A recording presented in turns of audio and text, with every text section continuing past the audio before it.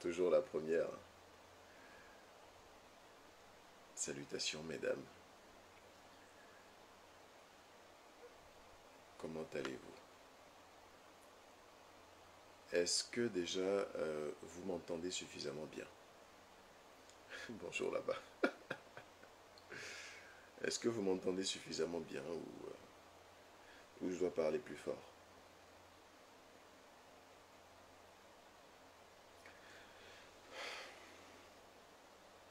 Salutations euh, Christine. Salutations Sephora Dalanda. Salutations Salma. Salutations. Donc, est-ce que vous m'entendez suffisamment bien ou je dois parler plus fort? Salma, j'entends pas très très bien. D'accord.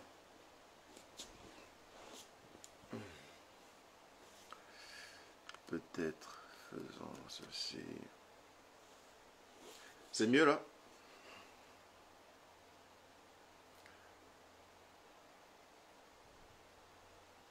Dites-moi, dites-moi dans les commentaires que je puisse savoir. Le son est bon chez Lucifer Wi-Fi. Lucifer Wi-Fi. Waouh euh, Dalanda, le son est bon. D'alors, salutations. Ok. Du coup, Aujourd'hui, on va en excursion chez une personne que je connais d'avant le voyage compté. Elle va nous parler d'elle. Elle va nous parler de ce qu'elle fait, de qui elle est. Euh, je pense qu'elle va être la mieux placée pour dire ce qu'elle fait pourquoi elle le fait et, euh, et ce qu'elle attend de ce qu'elle fait. Excursion chez les voyageurs, édition Titi Kodalé.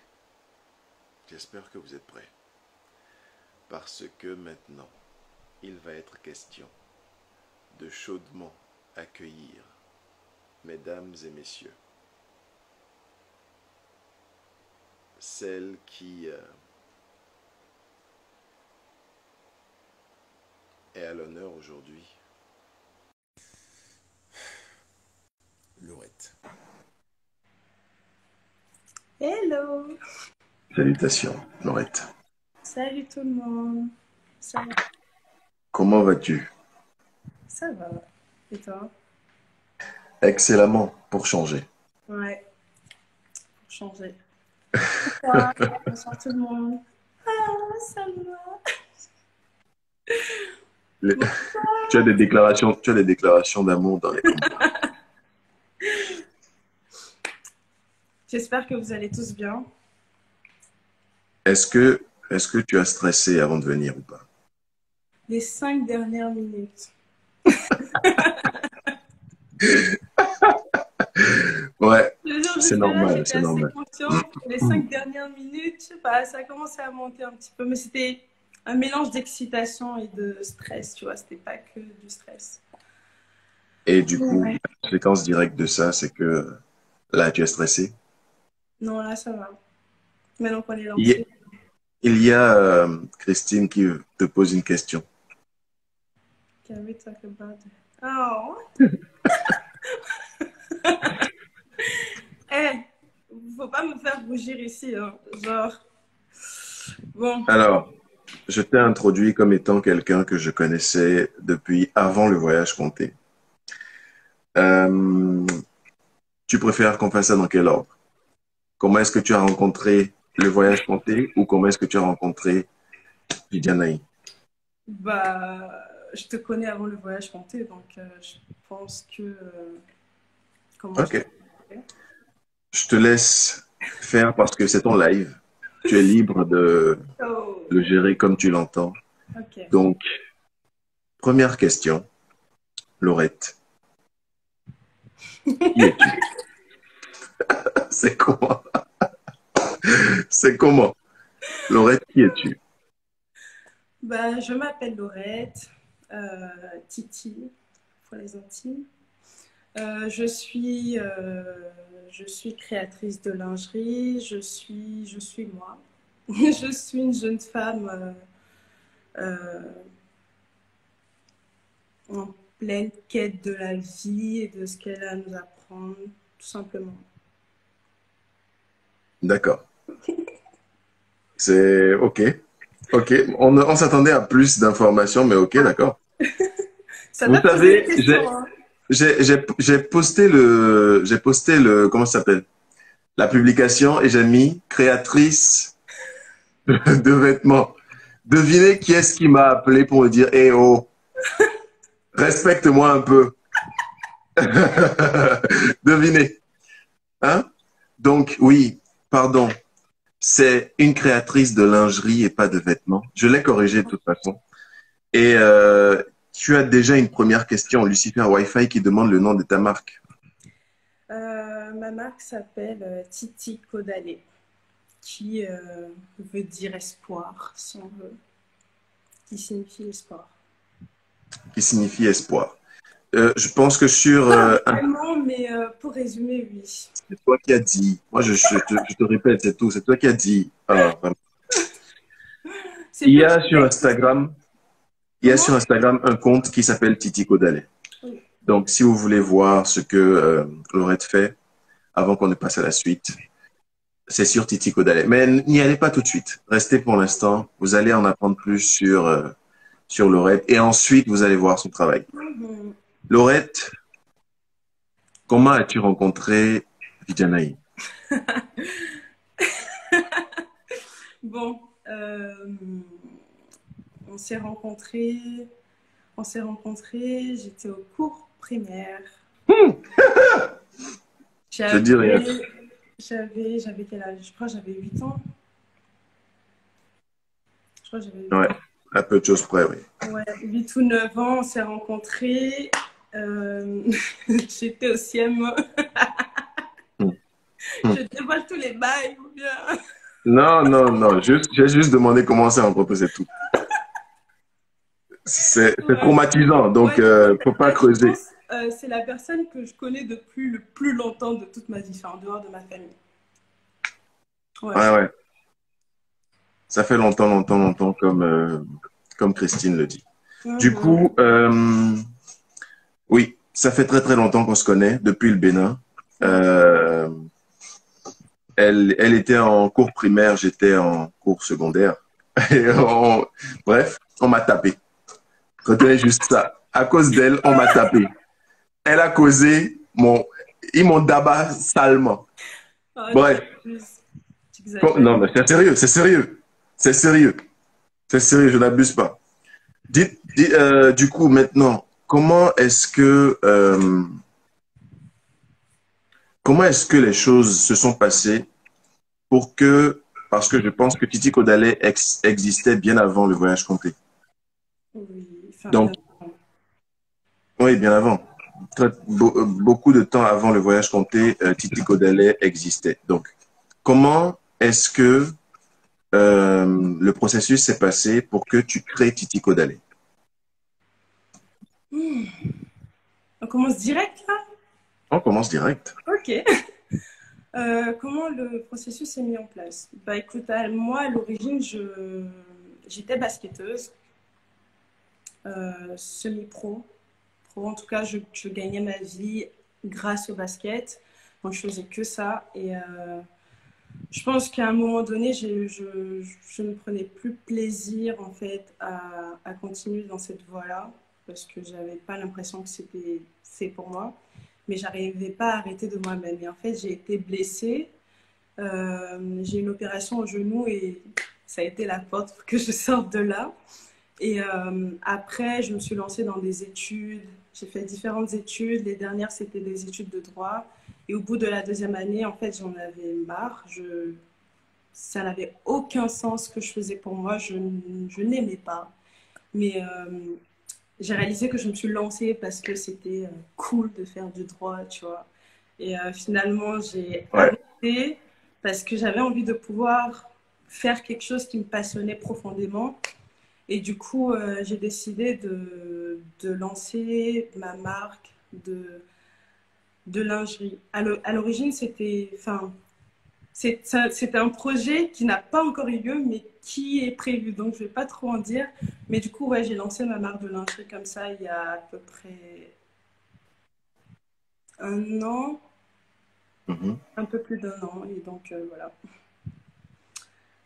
Du coup, depuis un peu plus d'un an, Titi Kodele existe. Mm.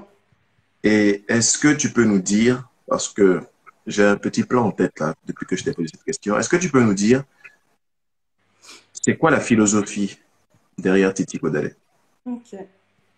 Bah, Titi Kodale, à la, à la base, comme je t'ai dit, c'était simplement une euh, marque de lingerie parce que euh, moi, dans mon processus personnel de reconnexion à moi-même, reconnexion à ma spiritualité, à mon corps, la, la lingerie a été euh, un facteur qui m'a qui m'a posé le cadre en fait, qui m'a qui m'a aidé à me regarder en face, à, à booster ma, ma, confiance en moi-même. Et donc à la base, c'était vraiment parce que ça m'avait apporté ça et j'avais envie de, bah, de permettre à d'autres femmes de, de se revoir, de se regarder, de se voir à travers la lingerie. Puis avec le temps, ça a évolué, disons.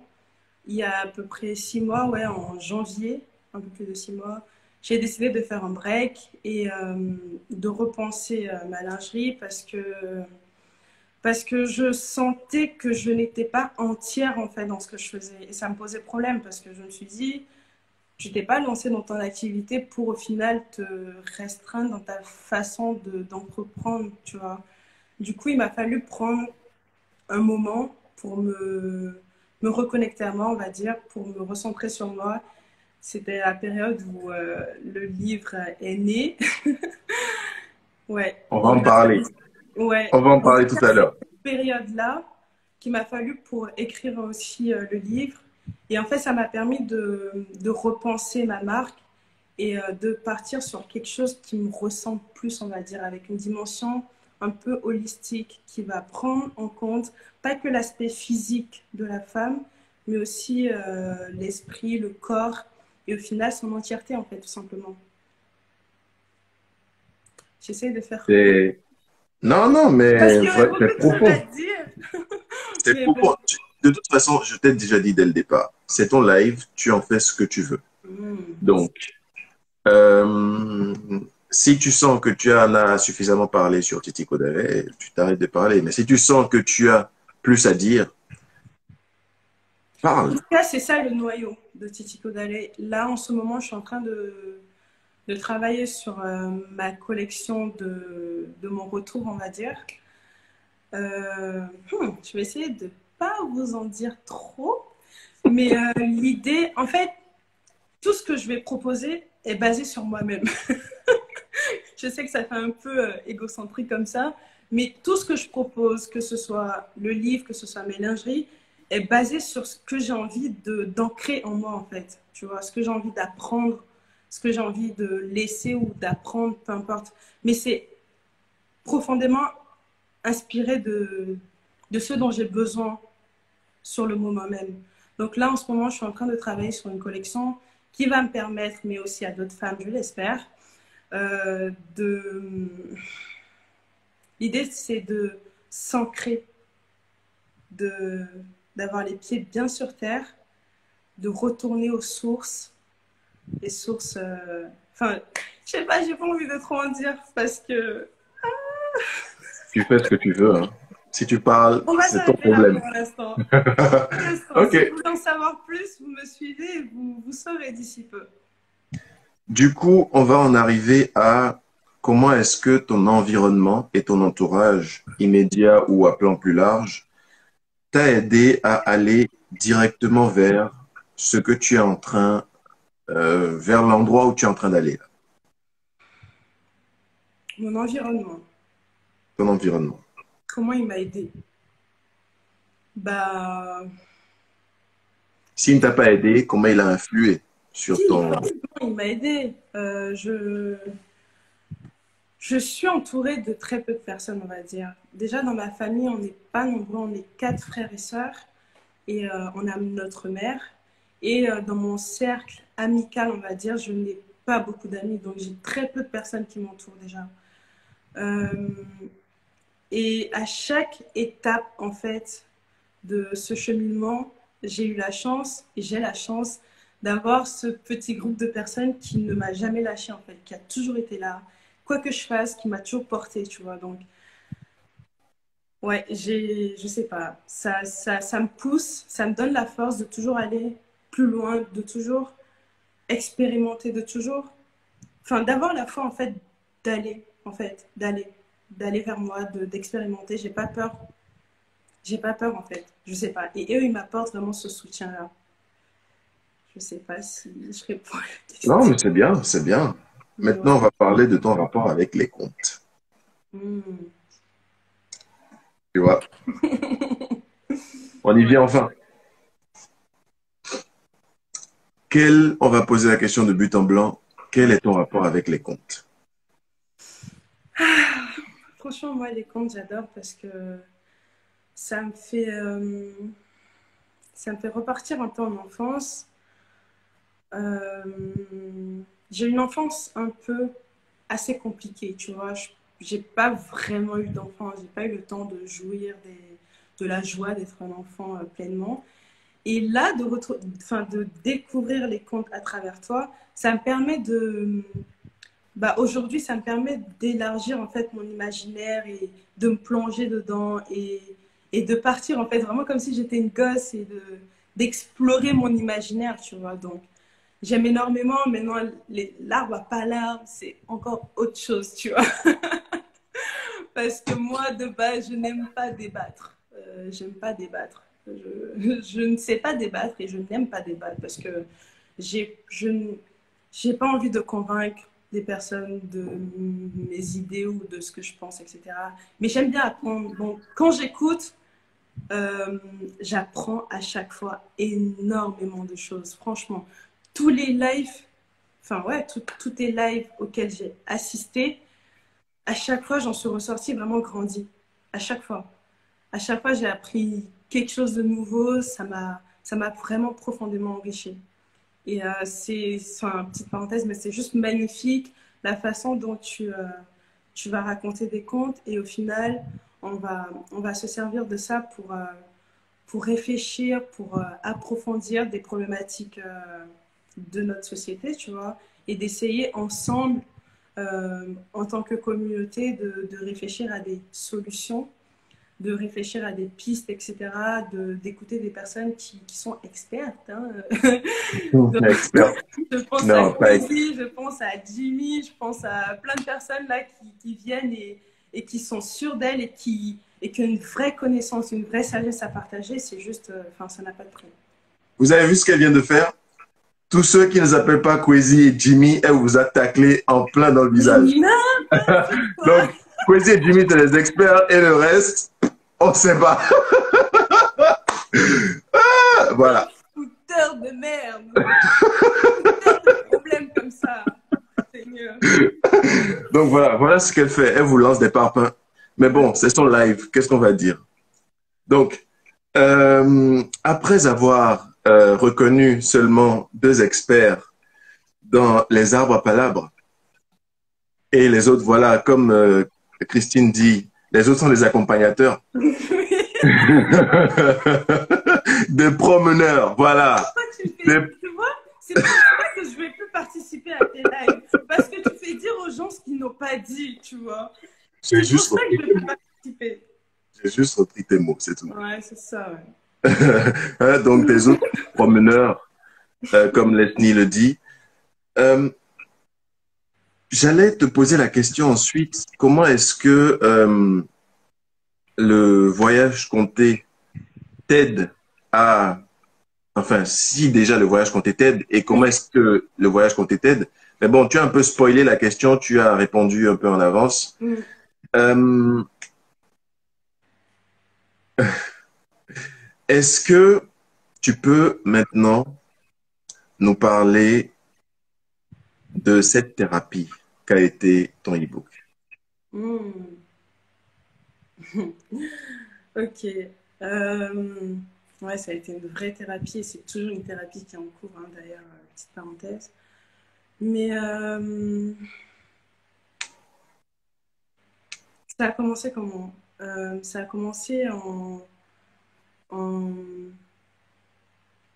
décembre dernier, décembre, janvier, où en fait je me suis retrouvée euh, à un moment de ma vie où je sentais que j'avais énormément de poids sur moi. Je sentais qu'il y avait des choses qui, qui me ralentissaient, que j'avais euh, énormément de peur, énormément de énormément de choses en fait qui me ralentissaient. Et sur le coup, je, je ne savais pas trop ce que c'était. En fait, je suis allée voir ma, ma amie en janvier qui a perdu sa mère. Et euh, là, ça fait tilt en fait dans ma tête. Et je n'ai pas su trouver les mots pour, euh, pour la réconforter ou pour, ne serait-ce que pour lui dire quelque chose qui puisse la soulager, tu vois. Alors que moi-même, j'avais déjà vécu ça du côté de mon père. Et en fait, là, j'ai compris que moi-même encore, je souffrais énormément de la mort de mon père, alors que ça faisait, euh, bah, ça faisait 20 ans qu'il était parti, tu vois. Du coup, je me suis dit, bon, là, euh, je pense que c'est le moment de, laisser partir quelque chose. Je pense que c'est le moment de... J'aime pas le terme faire un deuil parce que je ne comprends pas ce terme, mais euh, je me suis dit que c'était le moment de, de transmuter euh, toutes les émotions qui étaient reliées à, sa mort et tout ce que je pouvais ressentir, tout ce que j'avais gardé pendant longtemps par rapport à sa mort. Et j'ai eu l'inspiration en fait de d'écrire ce e-book, mais pour me permettre à moi-même de, de déposer en fait tout le fardeau qui, euh, qui, qui m'empêchait d'avancer sereinement, tu vois.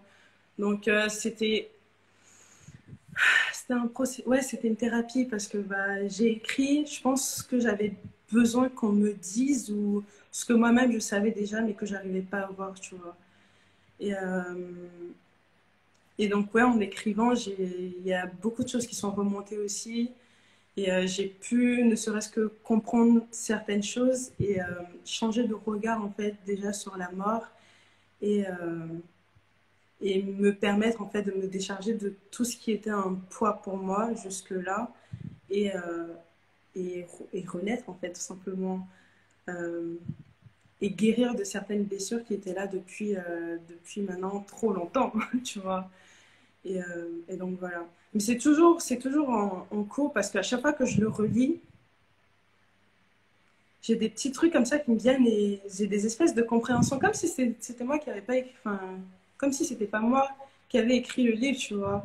Et euh, je réalise certaines choses que j'ai écrites, que je savais, mais que du coup, ma chair va comprendre, en fait. Tu vois, genre des choses que je comprenais mentalement et qui, en fait, vont s'inscrire dans mon corps et, que, et qui vont me permettre d'avoir une, une, réelle compréhension sur, euh, sur ce que j'ai écrit.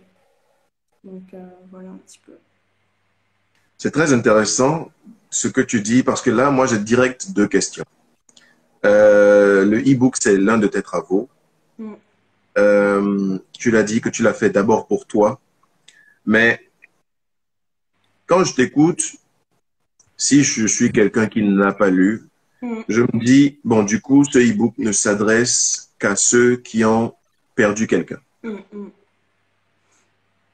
La première question à laquelle tu vas devoir répondre, c'est est-ce que c'est vraiment le cas? Est-ce que cet e-book ne s'adresse qu'à ceux qui ont perdu quelqu'un?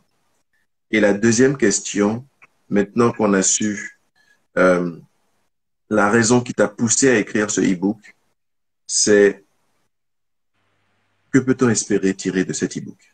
Hmm. bah Déjà, premièrement, il ne s'adresse pas aux personnes qui ont perdu quelqu'un, non. Euh, je pense qu'il s'adresse euh, à toutes les personnes qui ont subi des traumatismes émotionnels et, euh, et, qui ont encore un rapport un peu euh, tendu avec, avec ce qu'ils ont vécu et tout simplement, ou même des personnes qui n'auraient pas vécu de gros traumatismes. Je pense qu'on vit tous des traumatismes à différentes échelles, tu vois, qui ont différents poids.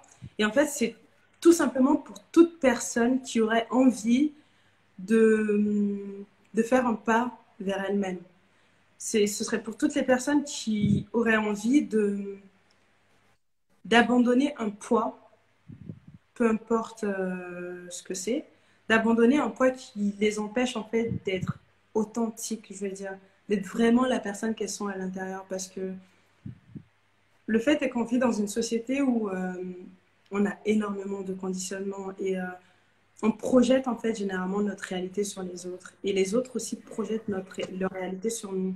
Ce qui fait qu'on se construit des personnalités pour répondre en fait euh, aux attentes, aux attentes de, ces regards-là, à ce qu'on pense que les personnes attendent de nous. Et c'est très inconscient, hein, c'est pas quelque chose où on se dit oui, donc je vais me fabriquer c'est non. C'est vraiment très inconscient. C'est ah, du coup, si je me comporte de telle façon, je suis plus aimée. Généralement, c'est euh, quand on est plus accepté, quand on est plus aimé, etc. C'est tout ce qui va faire qu'on va être plus accepté dans un groupe. Et tout ce qui va faire qu'on va être plus accepté dans le groupe, on va l'adopter justement pour rentrer dans un groupe et, euh, et, être, euh, et être aimé, j'ai envie de dire. Et donc, on va se construire en fait différentes personnalités. Et souvent, je pense qu'on peut sentir que bah, y a des personnalités qu'on s'est construites qui ne sont pas en phase avec qui on est réellement à l'intérieur. Donc, c'est pour toute personne qui ressent un peu ce décalage-là et qui a envie de, de, faire un travail de se libérer de tous ces regards-là pour aller contacter ce qu'il y a au fond, ce qu'il y a de plus authentique au fond de lui-même, tu vois. Donc, euh, pour la première question, pour la deuxième question, c'était quoi déjà? Le contenu. Ah oui, le contenu.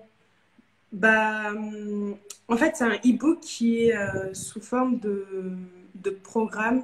C'est pas juste de la lecture, parce que la lecture c'est bien, mais je pense qu'il y a. Enfin, voilà. L'idée, en fait, c'est de. Enfin, dans le e-book, il y a des exercices, des exercices d'écriture qui vont permettre euh, à la personne qui lit et qui va du coup faire ces exercices-là de mettre en lumière certaines parts inconscientes justement qui guident sa vie, tu vois.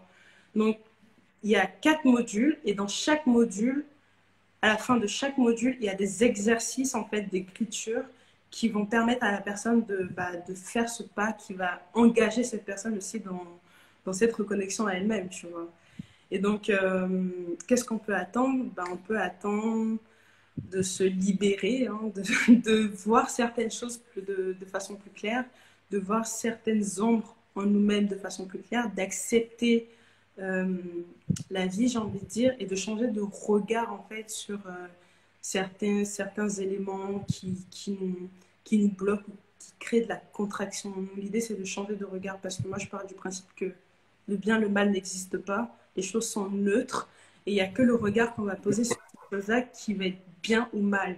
Et donc, en changeant de regard sur quelque chose qui nous fait souffrir, bah, on peut arrêter de souffrir sans changer la chose elle-même, en fait. Donc, euh, voilà. Pour quelqu'un qui n'essaye pas de convaincre, pour quelqu'un qui n'essaye pas de prouver ses arguments, et de les faire valoir, n'est-ce pas contradictoire de faire un programme? bah Non, je parle juste de ce que je sais, tu vois. Je n'essaye pas de convaincre quelqu'un. Je parle de ce qui a marché pour moi, de, de ma vérité, en fait, simplement, tu vois. C'est ma vérité. Et euh, je, conçois que ce ne soit pas la vérité de tout le monde, mais euh, ouais, j'en parle parce que c'est ma vérité. Mais je ne sais pas convaincre, genre, je ne peux pas dire, ouais, moi c'est comme ça et toi t'as tort. Bah non, parce que toi aussi, tu as peut-être raison, alors qu'on ne dit pas la même chose, tu vois. Donc, euh, c'est là que les débats. Parce que souvent, dans les débats, quand quelqu'un parle, s'il n'exprime pas la même idée que l'autre personne, souvent, ça va rentrer en contradiction et ça va faire un espèce de duel comme ça. Alors que des fois, moi, je dis ce que j'ai à dire, je suis d'accord avec moi-même et quelqu'un d'autre va dire autre chose et je vais être d'accord avec lui. Mais est-ce que justement, le duel, comme tu le fuis, ne crée pas euh, Tout de suite, les grands mots. Est-ce que le duel, comme tu le fuis, ne crée pas justement une nouvelle idée, un nouveau courant de pensée qui peut, tant pour la personne A que la personne B, élever leur esprit Je vois ce que je veux dire. Moi, en fait, quand je dis je débat pas, je débat avec très peu de personnes. Je débat avec des personnes de mon entourage, des personnes qui, je sens, ont envie en fait de, de comprendre certaines choses. Mais je débat pas avec les personnes qui sont fermées sur leurs idées et qui se disent c'est comme ça, un point barre. Je ne cherche pas à convaincre ces personnes-là. Je n'ai pas l'énergie pour. J'ai pas envie de gaspiller mon énergie pour ça. Mon énergie est trop précieuse, tu vois. Mais si je me retrouve en face de quelqu'un qui, je sens, a envie d'apprendre en guillemets ou a envie de changer de regard par rapport à, un, sujet donné, là, je peux débattre, c'est même pas un débat, ça va être une conversation, tu vois. Mais avec quelqu'un qui est fermé et c'est comme ça et pas autrement, bah non, je. Non, j'ai pas envie de perdre mon énergie, non. Ok. Ok, ok. Et c'est pas de la fuite, c'est juste de l'économie d'énergie. Je- J'ai mis un mot pour que tu puisses le corriger s'il est incorrect. Donc, euh, Laurette fait euh, des, enfin, a fait un e-book programme. Mm. Laurette est Titi Kodalé. Laurette est quoi d'autre? Laurette est une femme qui, euh, qui veut vivre, qui, qui aime l'art aussi, la peinture. J'aime bien l'aquarelle. Euh, Ah oui. ouais, je, je peins de temps en temps, souvent. Enfin, ça dépend. Qu'est-ce que tu peins? On veut voir. On veut voir ce que tu peins. Ah, c'est dans l'autre pièce à côté. Du coup, Pas grave, on a le temps d'attendre. Bon, allons-y. On va voir rapidement ce que je peins. Vous voyez ce que je fais pour vous, non? Les artistes viennent ici. C'est la deuxième artiste qu'on a. Après Tina, maintenant on a Laurette, Alors, la peintureuse. Maintenant, montre-nous ton art. enfin, c'est de, c'est de l'aquarelle en fait. Là, il y en a quelques-unes, les autres sont, euh, sont rangées. Donc, il y a là-bas au fond.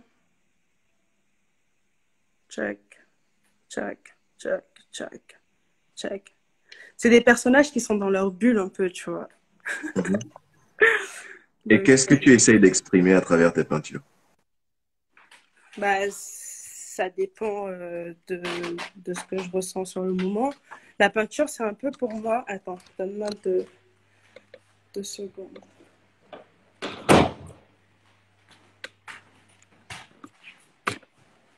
Ah. Bon, je l'ai bien installé à. Donc oui, la peinture, pour moi, c'est euh, un moyen d'exprimer mes émotions parce que je suis quelqu'un qui a, qui a du mal à, qui a du mal à exprimer euh, facilement quand. Ouais, qui a du mal à exprimer ses émotions, tout simplement. J'apprends. Et du coup, euh, la peinture, c'est un peu euh, le moyen que j'ai trouvé pour l'instant pour, pour peindre en fait tout ce que je n'arrive pas à dire avec les mots, tout simplement. Donc, ok, ok. On a une Laurette qui essaye de vous apprendre à faire la paix avec vos émotions à travers son e-book. Et on a une Laurette qui apprend à faire la paix avec ses émotions à travers la peinture. Disons que moi, je découvre Laurette et que je me dis, bon, voilà quelqu'un qui veut m'apprendre quelque chose qu'elle n'a pas fini d'apprendre. Que dire? C'est exactement ça. J'ai pas fini d'apprendre, je suis en plein apprentissage, tu vois. Et euh, des fois, j'ai l'impression de, comprendre certaines choses et puis je vais apprendre un nouveau truc et je vais me dire, mais en fait, ouais, j'avais compris, mais c'était pas complet, en fait, euh, mon apprentissage. Donc, ouais, je suis constamment en train d'apprendre, constamment. Donc, j'apprends simplement ce que, ce que j'ai appris moi. Je, je ne prétends pas euh, détenir la vérité ou, euh, ou connaître quoi que ce soit. Et encore une fois, toutes mes créations sont une forme de thérapie pour moi-même. Tout ce que je crée, c'est pour moi-même ancrer quelque chose en moi. Avant tout, hein, ancrer quelque chose en moi ou euh, apprendre quelque chose ou essayer de changer de regard sur la chose. Tout ce que je crée est centré sur moi. C'est pour ça que je t'ai dit au début, les créations sont centrées sur moi. Du coup, maintenant que tu parles de création centrée sur toi, de, de toi qui a euh, un programme de retour, le grand retour de Titi Kodalé, euh, donne-nous quelque chose. Donne-nous quelque chose Par rapport à la collection. pour, par rapport à la nouvelle collection. Hmm. Bah déjà, c'est une collection. euh, hmm, Qu'est-ce que je peux te donner maintenant C'est pas à moi que tu donnes, c'est aux personnes qui sont en train de te Ouais. regarder. De C'est une collection qui. euh, toute façon, je pourrais pas utiliser ta coiffe. à nouveau. Comment? De toute façon, je ne pourrais pas personnellement utiliser ce que tu crées, donc euh, ce Ouais, n'est pas à moi que tu donnes. Donc. Ouais. Euh, donc, ouais, mes créations, enfin, la collection qui arrive, dans la collection qui arrive, il y a un programme d'accompagnement. Il y a un programme d'accompagnement qui va permettre, euh, déjà, en fait, hmm, ah, tu veux me faire parler? de rien, les gens, de rien, de rien. Je suis là pour vous. Non, mais euh,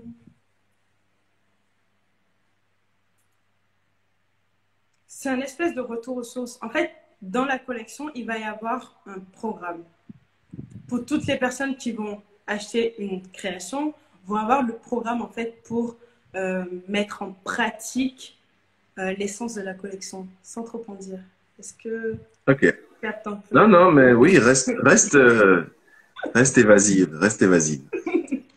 Donc, le programme, il est offert à toutes les personnes qui achètent la nouvelle collection ou le programme est à prix réduit pour les personnes qui achètent la nouvelle collection? En fait, comme je t'ai dit, j'ai plus envie de séparer les choses que je fais, tu vois. L'idée, c'est de réunir toute ma personne dans ce que je fais et pas juste séparer. Donc, par exemple, quand quelqu'un achète une création, en plus, c'est des créations, c'est mes lingeries. L'idée, ce n'est pas de mettre des lingeries pour euh, monsieur ou pour sortir en ville. Enfin, l'idée même de la création, c'est vraiment d'avoir un cadre pour se regarder en face. C'est une création pour les femmes, pas pour qu'elles portent pour les messieurs, tu vois. Pas pour qu'elles portent pour leur mec ou leur machin. Non, c'est pas ça l'idée. L'idée, c'est vraiment, tu portes ta création pour que toi-même, en fait, tu te séduises. Pour que toi-même, tu puisses te regarder en face et te trouver, genre, canon dans un premier temps. Et l'idée, ça, ça va être du coup le cadre pour, pour se permettre, en fait, de se regarder et du coup voir là où euh, il y a des choses à laisser partir, etc. Et euh, un truc que j'avais pas précisé, c'est que mes créations sont magnétisées. Dans la nouvelle collection, à partir de maintenant, mes créations sont magnétisées. Et donc, Que dire aux personnes qui entendent magnétiser, qui disent Ah, la sorcellerie Ouais, je suis un peu sorcière sur les bords. hein. Ouais, ouais, ouais, ouais. Ah, ah, voilà les bails. Elle vient du Bénin, faites attention. Donc, est-ce que tu peux nous expliquer en quoi est-ce que. euh, que c'est le magnétisme Oui. Le magnétisme, c'est tout simplement le fait de. Tu as des personnes qui canalisent et tu as des personnes qui donnent de leur propre énergie. Moi, perso, je canalise l'énergie que je veux transmettre et je la mets en fait dans la création. Et en fait, il faut savoir que tout est énergie et que l'énergie, en fait, n'a pas de limite. Il n'y a aucune limite à l'énergie, tu vois, au monde énergétique. Et donc, l'idée, c'est de. Là, par exemple, la collection qui arrive, il va y avoir cinq créations. Cinq créations qui chacune ont un thème bien particulier et qui font référence à des, on va dire, des personnalités. Là, déjà, j'en dis trop, tu vois. Mais l'idée, en fait, c'est de canaliser l'énergie qui m'inspire de ces personnalités-là et de l'ancrer dans la création, tu vois. Donc, euh, ouais, c'est ça. Le magnétisme, c'est euh, projeter de l'énergie dans quelque chose. Tu peux magnétiser quelqu'un, tu peux magnétiser des objets, tu peux magnétiser des plantes, tu peux tout magnétiser. Les gens, ça, ça s'appelle la sorcellerie. Mais bon, passons. Euh, je rigole, je rigole, je rigole. Je rigole. Tu vas faire fuir des autres du live. Dernier live, on parlait, dernier live, on parlait de, hein, voilà. Au dernier live, on parlait de la spiritualité. Voilà maintenant Laurette qui vient avec euh, ces bails là. Ouais. Mais je pense, et ça n'est que mon avis, Mm. après je laisse les personnes qui ont été clientes. Parce que oui, Laurette a une fois fait des créations masculines, mais elle n'en veut plus. Mm. On se demande pourquoi. Est-ce que nous, les hommes, on n'a pas besoin aussi de porter de la lingerie et d'être, euh, de se sentir canon? Hein? peux parce que- de la lingerie si tu veux. Quoi? Je peux t'en faire de la lingerie si tu Non, veux. non, mais non, je- non, non, non. Comme ça. Non, mais, ah, mais vraiment, ah, mais on va où là? On va où? Ah. Je, je- Hmm. Non, mais euh, attends, juste, j'ai vu une question. La date. d'Alanda qui me demandait pour quand c'est prévu. Alors, euh, c'est prévu pour bientôt. Il faut savoir que moi, mon engagement, il n'est pas sur le temps. Il n'est pas non plus sur euh, la forme, tu vois. Mais il n'est pas sur le temps parce que, comme je l'ai dit, mes créations sont magnétisées. Et le programme, en fait, qui arrive aussi, pour moi-même, je ne vais pas parler de canaliser, mais euh, il est inspiré en tout cas. Il est, il est profondément inspiré. Et donc, je ne je n'impose pas le rythme en fait, tu vois. Des fois, je suis là et hop, faut juste que j'écrive, il faut que je, faut que j'écrive. Et des fois, bah, je n'ai aucune inspiration et ça ne dépend pas de moi. Et donc, ce sera prêt quand ce sera prêt. Quand, quand le monde divin qui aimait le monde invisible, tout ça, tout ça, aura décidé que c'est fini, ce sera fini. Voilà. Donc, voilà. Je pense que la, la meilleure façon d'être informé, c'est de vous abonner à ces réseaux sociaux et dès que c'est sorti, de toute façon, elle va être obligée de vous dire que c'est sorti. Donc, restez câblé sur soit son compte perso, soit directement sur Titi Kodale. Mm. Et vous serez au fait. Et non, vous les dames qui êtes en train de commenter que la virilité de quelqu'un est touchée, ce n'est absolument pas ça. Déjà, elle fait des créations, et j'ai parlé de création. C'est elle qui m'a proposé de la lingerie. Moi, oui, c'est vrai. Non, tu as dit, non, c'est toi qui as dit, c'est quand tu feras de la lingerie pour les hommes et tout. J'ai pensé création très fort. J'ai pensé création et c'est lingerie qui est sortie. C'est le fond de ta pensée qui. J'ai pensé création. Ah, laisse-moi, c'est comment J'ai pensé création. Et parce que, pourquoi est-ce que je parle de ça? Parce que euh, Laurette a fait déjà des créations pour hommes. Mm. Et euh, bon, on discute Sauf que voilà, maintenant c'est le moment de m'aider à la convaincre de faire des créations pour hommes euh, avec le même esprit qui l'anime lorsqu'elle fait des créations pour femmes. Donc, Laurette, pourquoi? Pourquoi pas? Je pense que ça viendra. En fait, plus le temps passe, euh, surtout dernièrement, plus je réalise qu'en tant que femme, on est dans une société où euh, en tant que femme déjà, on souffre, tu vois. on est dans une société sexiste, misogyne, tout ça, tout ça, on sait. Et en plus de ça, quand on est femme et en plus noire, bon, vous connaissez le combo gagnant, quoi. Et donc, la cause qui me touche le plus, c'est la cause des femmes. Là où j'ai envie de m'investir le plus, c'est auprès des femmes. C'est aider des femmes à, enfin aider, aider un grand mot, mais euh, c'est, on va dire, accompagner des femmes à se reconnecter à elle parce que j'ai la conviction. Voilà de quoi je parle. Vous voyez les bails, non? Hmm. Voilà de quoi je parle. Donc, ouais, j'ai la conviction que les femmes ont un, grand rôle à jouer dans tout ce nouveau paradigme en fait qui se met en place, tu vois. Et ça ne se fera pas sans les femmes. Et donc, c'est là que j'ai envie de mettre mon énergie pour l'instant. Peut-être qu'avec le temps, je, vais pouvoir. En plus, c'est le début, hein, faut pas oublier pour l'instant, pour gérer tout ça, tout ça. C'est un peu compliqué, tu vois. Mais euh, avec le temps, pourquoi pas euh, Pourquoi pas Du coup, moi, j'ai une autre question à te poser. Est-ce qu'à part des e-books et des créations euh, de lingerie, parce que pour l'instant, tu n'es plus dans la création tout court, tu es ciblé dans la lingerie féminine, est-ce que euh, Laurette fait autre chose?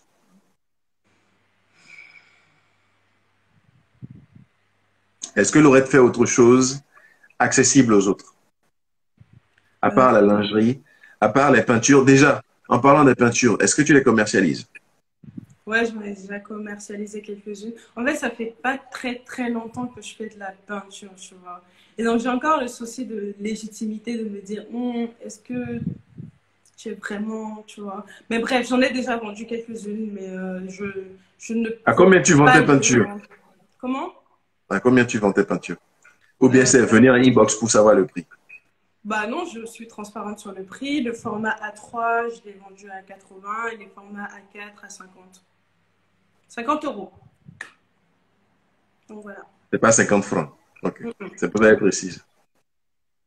Donc, euh, on a parlé de tes peintures et du fait que tu les commercialises.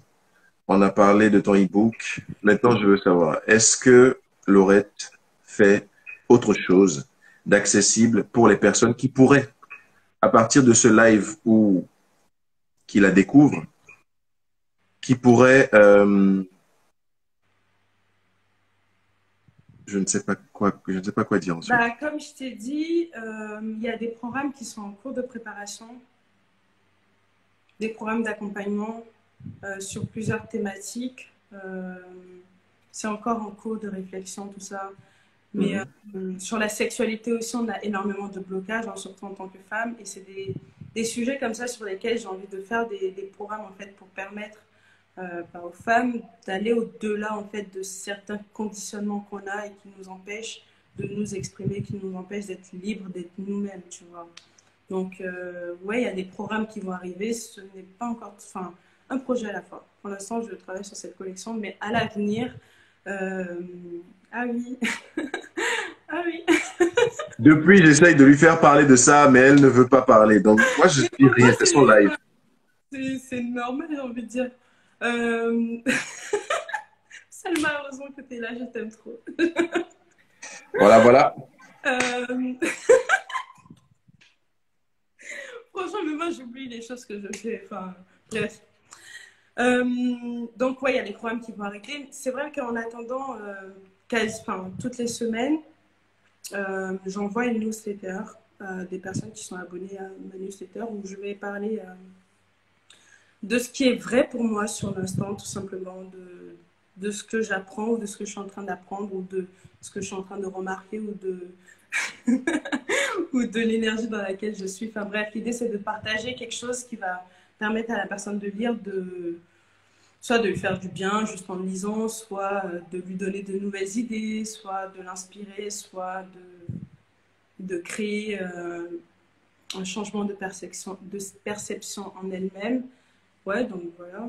Et les, les vidéos, euh, avec Salman, on a préparé des, des, petites vidéos là où on parle de, de sujets croustiques qui vont arriver. Voilà. Salma, voilà maintenant que ton ami est en train de te court-circuiter en ne parlant même pas de ce que vous faites ensemble.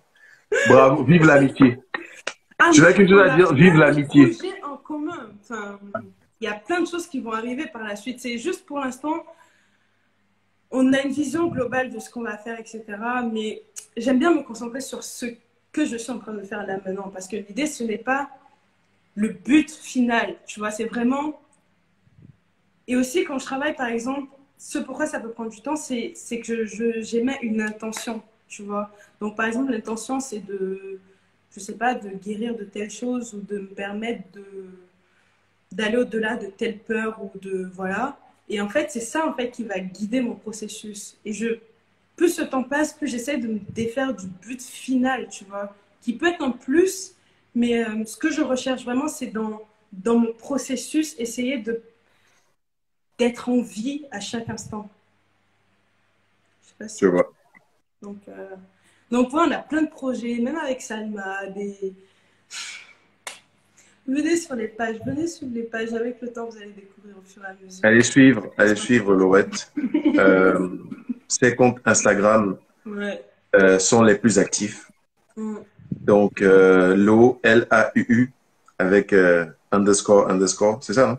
C'est Titilo. Titilo. Et il y a Titi Kodale aussi. Ouais. Donc, euh, ça au moins je sais. C'est quoi? Donc, euh, Laurette, Ouais. on est en présence des voyageurs ici. Mhm. Euh, je présume que je peux te considérer comme étant l'une des voyageuses aussi. Pourquoi tu présumes? Ah ben, je sais pas. Je, je préfère m'assurer que je ne t'inclus pas dans quelque chose dans lequel tu ne veux pas t'inclure. Tu vois. Donc, euh, tu es l'une des voyageuses. Mhm. De quoi est-ce que tu as besoin? Et déjà, est-ce que tu as besoin de quelque chose que les voyageurs pourront potentiellement t'apporter? Et de quoi pourrait-il s'agir? Honnêtement, comme je vous le dis, moi, tout mon processus de création est focus sur moi et sur ce dont j'ai besoin. Ce que j'aurais, ce que j'aimerais éventuellement par la suite, c'est une fois que ça sort, acheter quoi. Genre... Donner l'argent ou bien Ouais. Ok. C'est de ça qu'elle a besoin. Elle a besoin de l'argent. Elle a besoin de l'argent des, des voyages. Ah oui, il faut faire circuler, tu vois. Même l'argent, c'est une énergie. Il faut la faire circuler. Ça sert à rien de garder trop longtemps. Faut donner, après on vous redonne, après on fait tourner les bails, tu vois. Ok. Non, mais c'est un bon plan. C'est un bon plan. On va faire. Vous savez quoi? Avec, avec ce que Laurette est en train de dire, est-ce qu'on ne va pas carrément créer une ville, la ville des voyageurs? Comme ça, on fait une économie circulaire. Et, ouais, mais carrément. Les gens ont déjà fait. Hein. Euh, il y a Salma qui est là qui. Osho, il y a un mec qui s'appelle Osho. Enfin, c'est euh, un Indien, je sais plus. En gros, c'était euh, un illuminé, tu vois. Il est parti aux États-Unis, il a créé sa ville avec ses habitants, ils ont créé tout un système bancaire, tout. En fait, ils ont créé une ville à part entière. Ils ont créé la totale, tu vois. Donc, ouais, c'est faisable.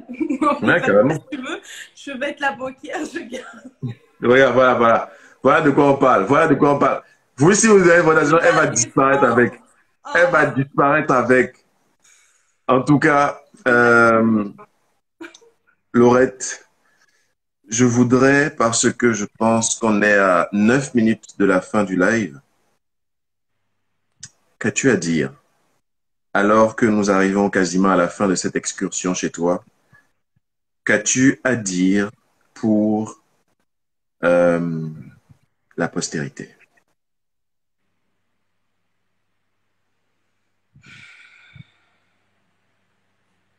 Je parle avec beaucoup de personnes en général qui pensent que, qu'elles sont obligées de faire certaines choses pour vivre, qu'elles sont obligées d'avoir un certain travail pour se nourrir, etc. Qu'elles sont obligées de, qu'elles sont obligées, tu vois. Et euh, ce que j'aimerais dire à toute personne qui écoute ça ou qui pourrait écouter ça à l'avenir, c'est que peu importe qui tu es, tu peux vraiment gagner ta vie, tu peux, tu peux gagner ta vie et faire ta vie en étant pleinement toi-même. Et, euh, et ça, c'est le truc que j'ai compris qui a vraiment changé ma vie. C'est genre, je n'ai pas besoin de changer qui je suis ou de tailler un peu les bords pour entrer dans un certain, tu vois, pour que ça passe. Non, je peux être moi-même en étant qui je suis. Parce que tout le monde a des dons, tout le monde a quelque chose, tout le monde a quelque chose de particulier, tu vois. Et souvent, euh, en fonction du regard de la société, ça fait des choses ouais, qui ne sont pas très valorisées. Mais le fait est que peu importe ce qui vous anime profondément, tu, enfin, tu, vous, vous pouvez construire votre vie autour de ça, en fait, sans avoir besoin d'aller chercher midi à 14h. Donc, écoutez votre cœur. Je pense que, ouais. Tu sais que tu demandes l'impossible. Bah non, c'est pas. Pourquoi ce serait impossible? Parce que la chose la plus difficile à faire, et on en a déjà parlé, mhm. c'est de s'écouter vraiment. C'est un apprentissage. C'est un apprentissage. Du coup, je présume que tu fais aussi, que tu es en train de concevoir un accompagnement pour tendre vers cette, euh, cet idéal. Bien sûr.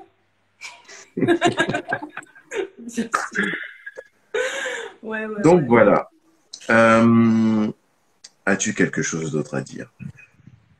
Ben non, je pense que j'ai dit l'essentiel. Merci à toi de, de ce que tu crées, de ces moments de, de magie, j'ai envie de dire, que tu crées tous les mardis et tous les, euh, tous les samedis. Ouais, c'est vraiment, vraiment puissant. Et je sais que c'est que le début. Et euh, si en si peu de temps, tu as réussi à faire ce que, ce que tu es en train de faire, euh, j'imagine même pas ce que tu ferais à long terme. Donc bravo déjà pour ça. Et euh, merci à toutes les personnes qui te soutiennent quand même. Merci à elles, parce qu'elles ont capté, elles ont capté le truc, tu vois. Elles ont capté le génie derrière. Donc bravo à vous, hein, de suivre le voyage compté. Et euh, ouais, merci à toi, merci de ce que tu crées, merci d'être toi. Et merci de m'avoir invité aujourd'hui. Euh, et, puis voilà.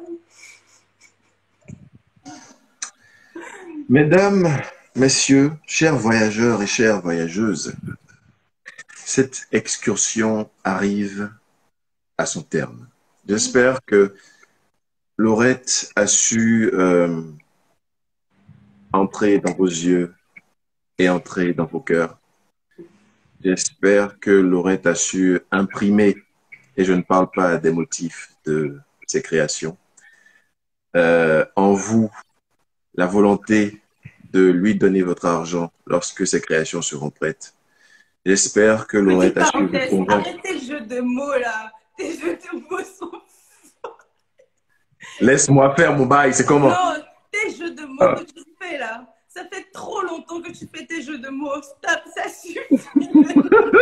ça suffit.